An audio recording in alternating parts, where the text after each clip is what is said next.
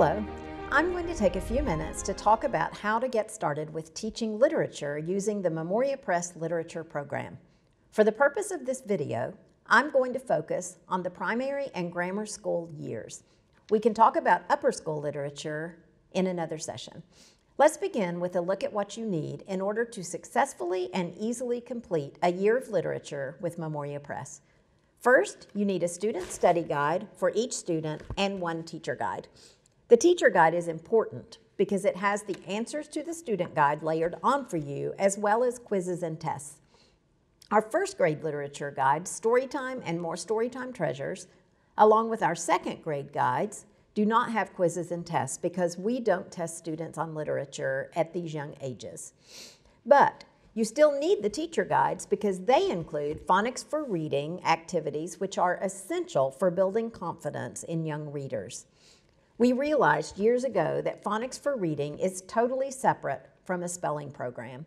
Students are ready to read more difficult words before they're ready to spell them. So at Memoria Press, we've separated the phonics for reading out into our literature guides. Before students read, they're introduced to the more difficult words that they're going to encounter, including common words. So when they come upon these words in their reading, they can move through them without frustration. Classical phonics and our phonics flashcards from kindergarten are also needed to complete these phonics lessons. This is an essential part of our first and second grade literature program. Beginning in third grade, the phonics is dropped from our guides. We are assuming we have fluent readers by now, but we've added quizzes and tests. Also, we need to hear younger students read aloud every day. So this teacher of first and second grade students is going to know the answers to all the questions in the literature guides because you have shared the reading experience with your student. But in the grammar school years, many students are ready to read independently. And though it's still important for you to have your students read aloud each day in some capacity, it doesn't have to be literature. And if you don't have time to keep up with their reading, you will need the answers in the teacher guide to make sure your student is on the right track and to enable you to discuss books with your student that you may not have read. So for younger students, you need the teacher guides to get your phonics lessons, and for older students, the teacher guides will provide help with answers and discussion as well as the assessments needed to make sure your students are comprehending. In addition to the student guide and teacher guide, you will also need the novel. It's up to you how many novels you need. Many teachers have their own copy of the novel in addition to the student's copy. And if you have more than one student studying the same book, you may want each student to have his or her own copy. We encourage students to mark their books as they note important or beautiful passages. But if you're on a tight budget, you can buy one novel and use it over and over for different students. If you need to do that, you will want to limit each student making marks in the book. The final tool you will want to consider is our lesson plans. We've put together lesson plans for each year of literature through 10th grade, so you can make sure you're moving at a good pace and will complete three to four books a year. The other advantage to the lesson plans is that they may make your older student more independent. Students will know what they need to complete each day. Our lesson plans are laid out so that literature should take approximately one hour each day. Of course, the lesson plans are optional. You can easily make your own schedule. But we've done all the hard work for you, so why not take advantage of that? And our lesson plans come directly out of our classrooms, so they've been tried and tested by master teachers over the years. Now that we have all of our books lined up, the next step is to read the teaching guidelines in the front of the literature guides and in the front of the lesson plans. And another thing I would advise, assuming you can find the time, is to read all the novels you will be teaching in the summer before your school year begins. I know that can be difficult to do, but if you go into your year with a basic knowledge of what your students will be studying, you will feel more prepared to teach and it will set you up for success. And who doesn't like to sit by a pool or at the beach or under a tree in your yard reading a classic children's book, taking you back to your own childhood? This is just a suggestion, though. I am not trying to put a guilt trip on anyone or make you feel more burdened than you already do. My last piece of advice to prepare you to be an amazing literature teacher is to mark your teacher guide for each lesson with the questions that will appear on the tests. A few of our guides for younger students have those questions marked for you. But if you're using a guide that doesn't have them marked, go ahead and do that for yourself.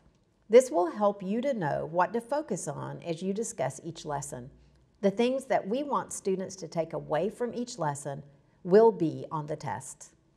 So, to summarize your preparation as a teacher, I strongly recommend that you familiarize yourself with the teaching guidelines, pre read the novels, and mark the test questions in your teacher guide ahead of time. And now you are ready to teach. The good news is that each lesson is basically the same, giving continuity and confidence to students. Once you learn how to teach literature the Memoria Press way, students will never be surprised or unsure about the expectations for their work. So let's see what a lesson should look like. First, we go to the study guide and look at the reading notes. The reading notes are specifically to introduce cultural terms or large words students may not be familiar with. You can read them aloud while students look at them, or you can have students read them. This should only take a couple of minutes. The next step is to fill out the vocabulary section of the study guide. Note that we haven't even opened the novel yet. The reading notes and vocabulary act as a preface to the reading we are about to do. The purpose of the vocabulary is to help students try to figure out the meaning of the vocabulary words within the context of their reading. So this requires a conversation. Students can't memorize the meaning of every word in the dictionary, so we want to help them read discerningly, not to skip over words they don't know but to have the skill to guess the meaning within the context of their reading. This is a tool that will benefit them throughout their reading lives. So let's talk about how to teach the vocabulary. First, put the words on the board and talk about them. Ask students if they can figure out a good synonym to replace the, the word. If they are randomly guessing and it becomes painful or silly, go ahead and give them the word from the teacher manual. This is a good time to point out the part of speech, too. Take advantage of this opportunity for a mini grammar lesson. Talking about the meaning of each word, and there will rarely be more than six words per lesson, can get tedious. So, to shake it up a little, you can put all the meanings on the board scrambled up and have the students match them to the words. If you see, I've put three vocabulary words, this is from our Robin Hood study guide, on the board and I can talk to the students about each one of these words based on the context of the sentence, which we've put in the study guide. But if I'm in a rush or really it just feels like I don't have the time to do that, to have that conversation, then I can put the meanings, the synonyms that we've chosen for each of these words, and then you can see that it would be fairly easy for the students to guess that the coffers are treasure chests, the steward is the household manager, and transfixed means pierced. This will speed your vocabulary work up.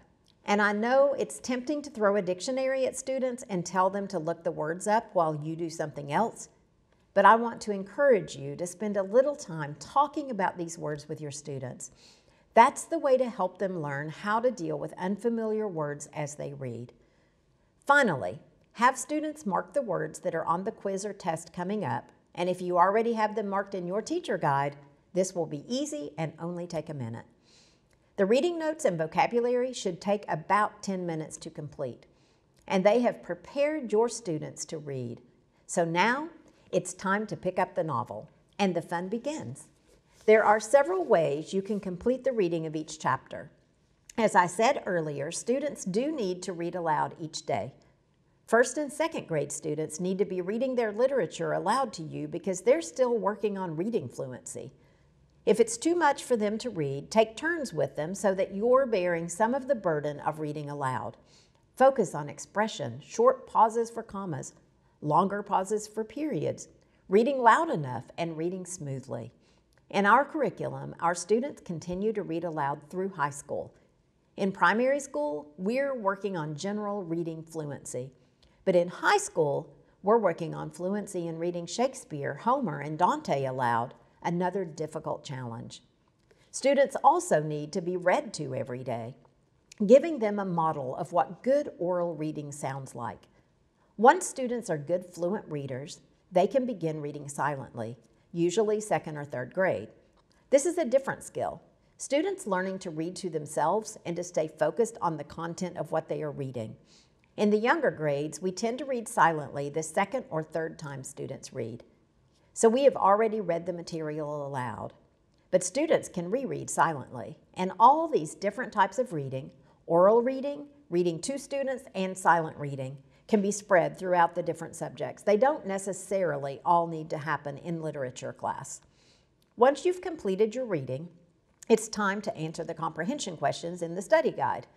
So we begin in the study guide with reading notes and vocabulary, took a break to read, and now we go back to the study guide.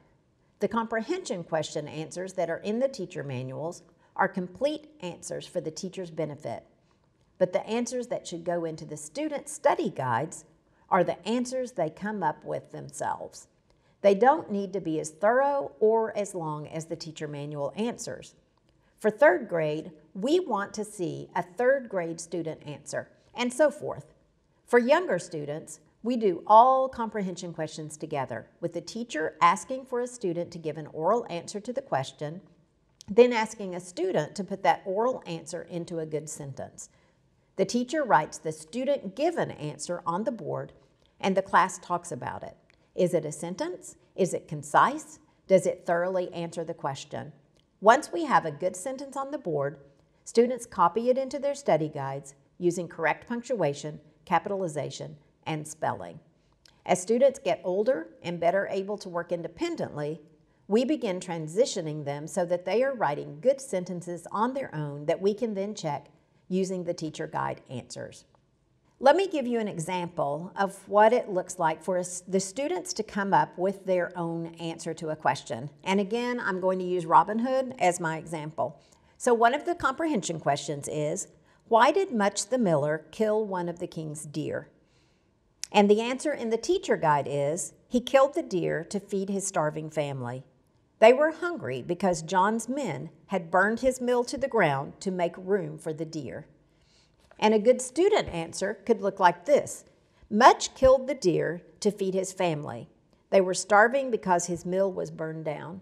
It's much shorter, but it's thorough, it's concise, and it answers the question. So it's just fine. We want the student to have their answer in their study guide, not the teacher answer.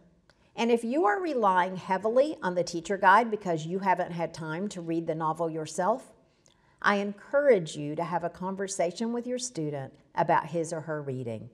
You can easily figure out what is going on in the story based on the questions and answers we've provided in the guides. It's important that you don't think of the study guide as a workbook. It should be the catalyst for a conversation about what the student is experiencing in the novel. Use the literature guide as a tool but the real lesson should come from a discussion that will bring the characters and events in each book to life. Finally, each guide will have a variety of questions, of expressions, quotations, questions for discussion, and enrichment activities that you can complete as you have time and interest. These are supplemental, but again, these areas in the study guides are to influence discussion and can be more abstract, requiring a higher level of thinking. So the discussion should be teacher led and can be used at the teacher's discretion as far as time and interest permit. The enrichment activities can also be used as honors work for motivated students who like an extra challenge. This sounds like a lot to complete for each lesson, but if you follow our lesson plans, you will see that you don't have to complete an entire lesson each day. Our literature curriculum was not chosen randomly. We have spent years fine tuning it, and our hope is that we can have a small part in developing in your students a love of reading and the skill to read deliberately and with discernment. Happy reading until we meet again.